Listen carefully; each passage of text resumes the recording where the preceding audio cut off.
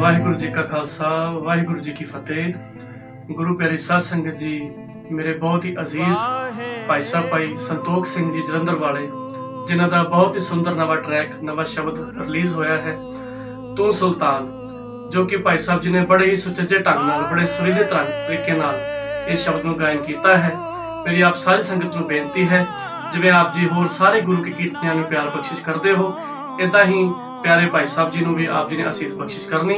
Share ਕਰਨਾ like ਕਰਨਾ, ਸਰਵਣ ਕਰਕੇ ਵੱਧ ਤੋਂ ਵੱਧ ਸ਼ੇਅਰ ਕਰਕੇ ਅਸੀਸਾਂ ਬਖਸ਼ਿਸ਼ ਕਰਨੀਆਂ ਜੀ। ਵਾਹਿਗੁਰੂ ਜੀ ਕਾ ਖਾਲਸਾ, ਵਾਹਿਗੁਰੂ ਜੀ ਕੀ ਫਤਿਹ।